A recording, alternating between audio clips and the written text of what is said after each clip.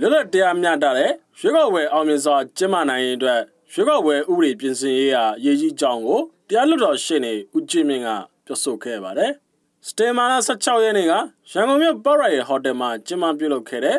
ပြည်သူ့လွတ်တော်မြို့သားလွတ်တော်နဲ့တိုင်းဒေသကြီးသို့မဟုတ်ပြည်내လွတ်တော်ရွေးကောက်ပွဲဥပဒေများကိုပြည်စမအကြိမ်ပြင်ဆင်တဲ့ဥပဒေကျမ်းဆိုင်ရာဆွေးနွေးပွဲတွင်ပြောဆိုခဲ့ခြင်းဖြစ်ပါတယ်။အော်လွတ်လပ်တရားမျှတတဲ့ရွေးကောက်ပွဲတွေအောင်မြင်စွာကျင်းပနိုင်ရေးပေါ့။အဲ့ဒါပေါ့။ ဘာလို့ဒီမိုကရေစီနိုင်ငံမှာလွတ်လပ်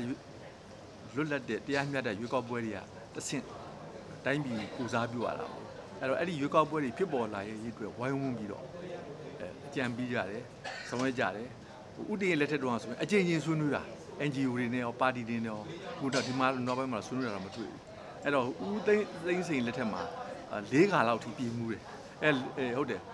ဦးသိန်းစိန်လက်ထက်မှာပြင်တယ်နောက်တစ်ခါ ဒီဟိုဦးထင်ကျော်လက်ထက်မှာတစ်ခါပြင်တယ်ဦးသိန်းစိန်လက်ထက်မှာတော့၃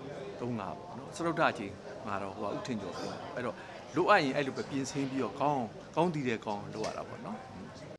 စတင်မာလာ16ရက်နေ့ကပြုလုပ်ခဲ့တဲ့ပြစမအကြိမ်ပြင်ဆင်သည့်ဥပဒေကျမ်းဆိုင်ရာဆွေးနွေးပွဲတွင်အာဏာရပါတီမှလွတ်တော်ကိုယ်စားလှယ်များရပ်ဖွဲ့အဖွဲ့အစည်းများဥပဒေပညာရှင်များနိုင်ငံရေးတက်ကြလှုပ်ရှားသူများတက်ရောက်ဆွေးနွေးခဲ့ကြတာဖြစ်ပါတယ်။ သူကတော့လိုရှိတာပေါ့လေ။ဟိုဦးသိန်းစိန်လက်ထက်တုန်းကလည်း2015မှာရွေးကောက်ပွဲနဲ့ကပ်ပြီးတော့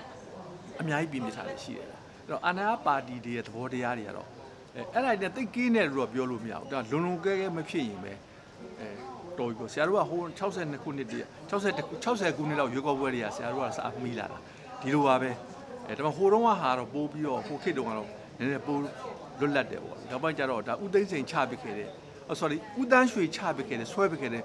ရွေးကောက်ပွဲမူတိုင်းစစ်အာဏာရှင်တွေချပစ်ခဲ့တဲ့အတိုင်းလုံတာပဲလေအဲ့တော့နည်းနည်းပါးပါးတော့ပြင်မှုတာလို့လိုအပ်လို့ပြင်တာဖြစ်ပါလေမြန်မာနိုင်ငံတွင်နိုင်ငံတော်အေဂျင့်တာယာရေးနှင့်ဖွံ့ဖြိုးရေးကောင်စီလက်ထက်2010ခုနှစ်မတ်လ10ရက်နေ့တွင်လွတ်လပ်တရားမျှတသောပါတီစုံဒီမိုကရေစီထွေထွေရွေးကောက်ပွဲကိုကျင်းပခဲ့ပြီးပြည်သူ့လွှတ်တော်ရွေးကောက်ပွဲဥပဒေကိုဖွဲ့စည်းပုံအခြေခံဥပဒေပုံမှ433နဲ့အညီပြဋ္ဌာန်းခဲ့ကြောင်းသိရှိရပါတယ်။ ဆိုပါပြည်သူ့လွှတ်တော်ရွေးကောက်ပွဲဥပဒေကို2017ခုနှစ်အောက်တိုဘာလ18ရက်နေ့တွင်တစ်ကြိမ်2015ခုနှစ်ဇွန်လ18ရက်နေ့တွင်ဒုတိယအကြိမ်2016ခုနှစ်ဇန်နဝါရီလ18ရက်နေ့တွင်တတိယအကြိမ်2016ခုနှစ်ဇွန်လ10ရက်နေ့တွင်စတုတ္တအကြိမ်ထိပြင်ဆင်ခဲ့ကြောင်းသိရှိရပါတယ်။